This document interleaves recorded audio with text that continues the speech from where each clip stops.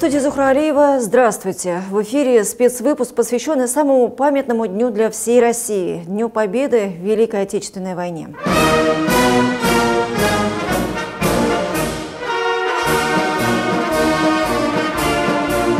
9 мая 1945 года навеки вписано в мировую историю как триумф нашего единого советского народа.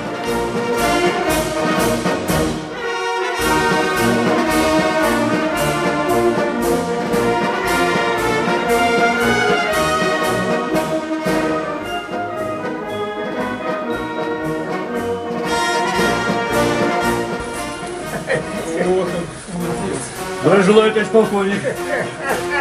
Спасибо, Вася. С. Главное, в добром здравии. Спасибо. С праздником. Праздником.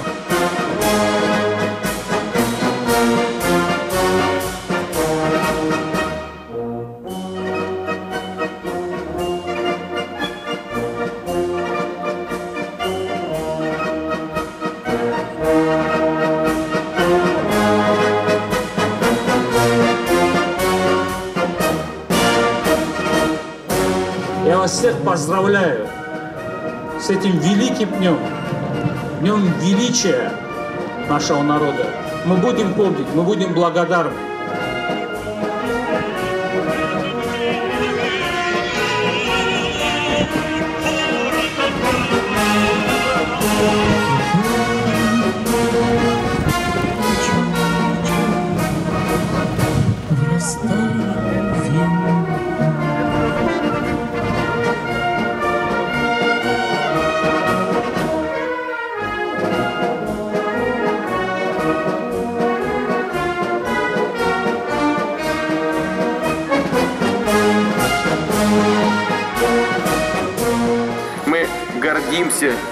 Непокоренным, доблестным поколением победителей.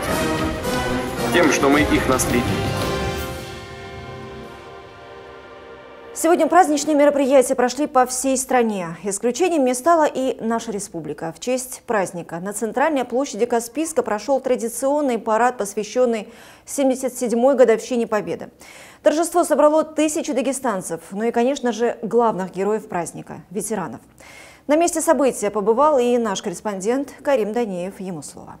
Главный республиканский парад в честь 77-й годовщины победы в Великой Отечественной войне традиционно проходит в Каспийске. Дагестанцы пришли на торжественный митинг, чтобы поздравить героев и почтить память погибших на полях сражений. Перед началом церемонии все участники и гости мероприятия прослушали обращение президента России Владимира Путина. 9 мая 1945 года навеки вписано в мировую историю как триумф нашего единого советского народа, его сплоченности и духовной мощи, беспримерного подвига на фронте и в тылу. День Победы близок и дорог каждому из нас. В России нет семьи, которую бы не опалила Великая Отечественная война. Память о ней не меркнет. В этот день в нескончаемом потоке бессмертного полка дети, внуки и правнуки героев Великой Отечественной. Они несут фотографии своих родных, погибших солдат, которые навеки остались молодыми, и уже ушедшими от нас ветеранами. Мы гордимся непокоренным, доблестным поколением победителей, тем, что мы их наследники. И наш долг – хранить память о тех, кто сокрушил нацизм. Офицеры краснознаменной Каспийской флотилии вынесли знамя победы, после чего с приветственным словом ко всем дагестанцам обратился глава региона Сергей Меликов. Поздравляю вас с Днем Победы, важнейшим государственным праздником нашей страны, который имеет для каждого из нас глубоко личное измерение. 77 лет прошло с тех весенних дней, когда на измученную землю пришел мир. Но мы все также остро чувствуем всепобеждающую силу патриотизма, безграничную благодарность поколению, поколению победителей и скорбь по ушедшим от нас.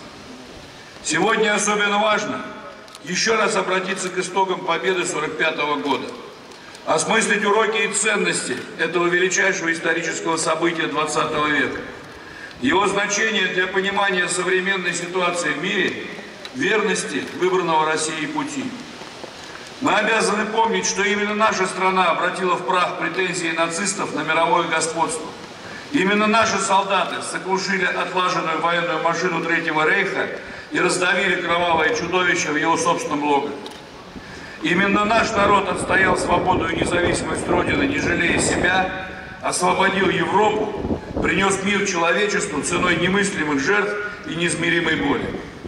Солдаты и офицеры вооруженных сил прошли строевым шагом по главной площади Каспийска. Более тысячи военнослужащих, матросы Каспийской флотилии, бойцы пограничных войск, Росгвардии, МЧС и других армейских подразделений. Вниманию зрителя была также представлена современная боевая техника. Командир роты капитан Курбетов Марат Рамисович. Торжественным маршем проходят вооружение, установленный пулемет Владимирова танковый с прицельной.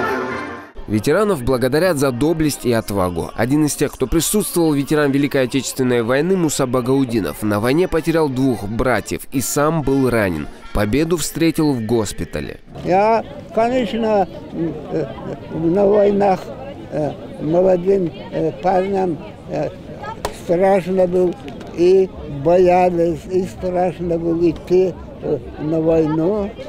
Ну, привыкли, привыкли постепенно это тоже. И на войну шли отличным настроением за Родину, за, за Сталина. Обороны Кавказа э, меня э, раз поранили, второй раз поранили, третий раз меня осколками сильно поранили в животе. Лечился в Ворошиловграде. В праздничном шествии также приняли участие юноармейцы и кадеты местной морской школы-интернат. В глазах молодых людей, несмотря на совсем юный возраст, присутствует понимание о значимости этого праздника. Уже сейчас они знают, почему необходимо помнить и чтить историю. Эти мероприятия очень важны для, чтобы ну, помнить да, о событиях войны, о нацизме, о, том, что происходило да, на на войне. Мы должны помнить и чтить наших всех солдат, также проводить такие мероприятия почаще, чтобы наша молодежь чтобы интересовалась этим всем и чтобы таких случаев, как в нашей войне, не происходили.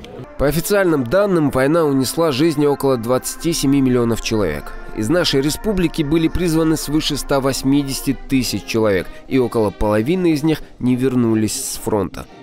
Карим Даниев, Нурмагомед Магомедов, Новости ННТ, Каспийск. Сергей Меликов также посетил на дому ветерана Курбана Курбанова и поздравил его с Днем Победы. Вот он, молодец. Здравия желаю, товарищ полковник. Спасибо, С Днем Победы. Главное в добром здравии. Спасибо. Спасибо. С праздником. Также глава региона принял участие в шествии бессмертного полка. Сергей Меликов взял с собой портрет своего дедушки Меликова Нурмагомеда Баловича. До войны он был обычным гражданским человеком, который проживал в Сулейман-Станском районе Дагестана. А когда началась война и когда э, у нас в Дагестане состоялось формирование 345-й, как ее до сих пор называют, Дагестанской дивизии, дедушка попал туда на офицерскую должность одним из э, тех, кто был призван с территории Дагестана. Ну, наверное, вы все знаете, я не буду об этом говорить. 345-я дивизия, наша стрелковая дагестанская дивизия, она может быть в какой-то степени тоже очень символична сегодняшним дням, потому что это дивизия, которая в полном составе участвовала в Крымской оборонительной операции. Сути дела, она вся там легла. Торжественные мероприятия, посвященные Дню Победы, прошли и в Махачкале. Все традиционно началось с праздничного митинга на Центральной площади. Волонтеры развернули копию Знамени Победы. Студенты и горожане держали флаги и плакаты с поздравлениями. Выступая перед собравшимися, глава города Салман Дадаев поздравил ветеранов войны, горожан и гостей столицы 77-й годовщиной победы в Великой Отечественной войне. И сегодня, как никогда, мы понимаем актуальность того, как важно сберечь память,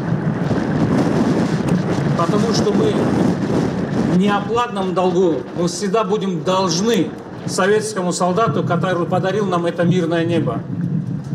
Уважаемые ветераны, дорогие махачкалинцы, гости, я вас всех поздравляю с этим великим днем, днем величия нашего народа. Мы будем помнить, мы будем благодарны. С праздником вас! По завершении официальной части с площади выдвинулась колонна ретро-автомобилей.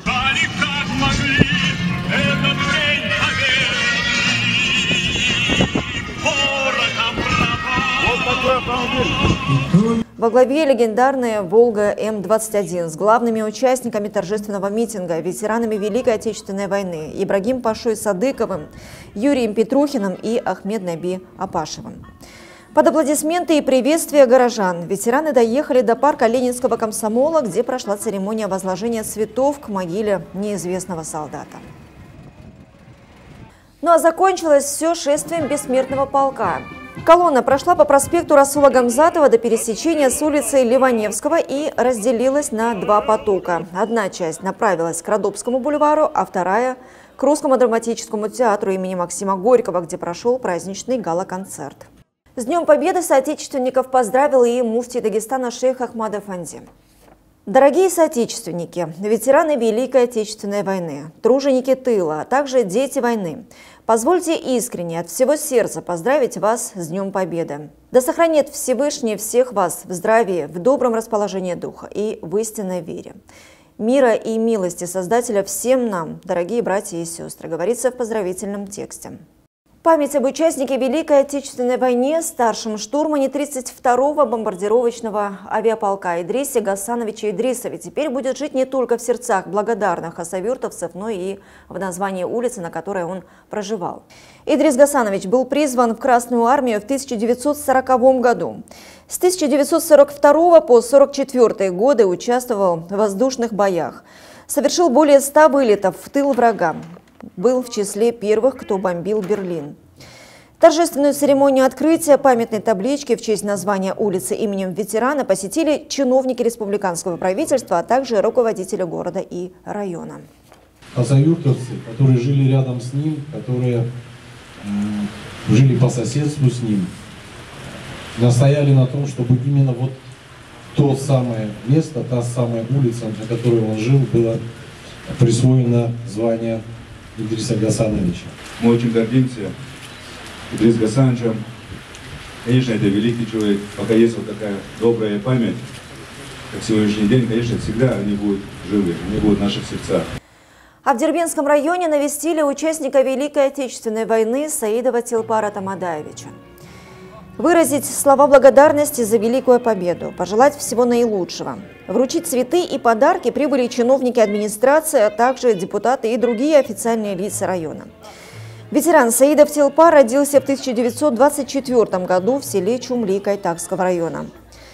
В 1944 году был призван в армию рядовым, где сразу же был направлен на фронт пулеметчиком. Участвовал в освобождении восточной части Австрии, Румынии и Венгрии. Получил ранения, имеет боевые награды. Павел Иванович, дорогой ты наш, мы прежде всего хотим вам пожелать крепкого здоровья. В этом году вам будет всего лишь 98. Через два года, через два года мы придем вместе с вами отпразднуем ваше столетие. Будьте в боевом строю. Будьте также с таким хорошим настроением, с таким прекрасным окружением, близкими, чтобы вы нас радовали и всегда давали такое напутствие для того, чтобы мы могли приезжать и чествовать вас. Уважаемые друзья, благодаря нашим ветеранам, благодаря тем, которые полегли в полях за свободу и независимость нашей страны, мы сегодня живем в таком обществе. Это все на сегодня. Еще раз с праздником и до встречи.